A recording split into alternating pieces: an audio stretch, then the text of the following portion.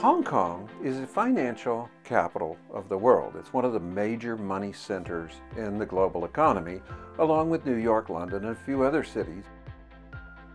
I'm a professor of information systems, but I also focus on strategy and change. And I look at change in e-commerce, I look at change in other industries. And so fintech is of interest to me, not as a finance professor, but as a professor of technology looking at technology and its applications to business. When cryptocurrency came around, especially Bitcoin, there was a, a, a sparkle in the eyes of a lot of young people. It's like the bank is in my mobile phone.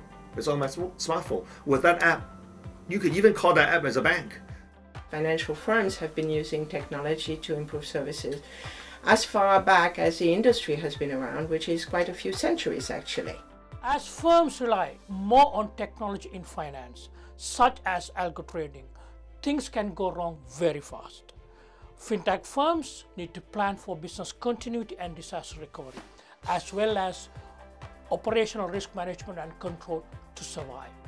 One of the things that will help you in taking this series of four courses, this specialization, is to learn about how finance is being transformed or revolutionized by technology.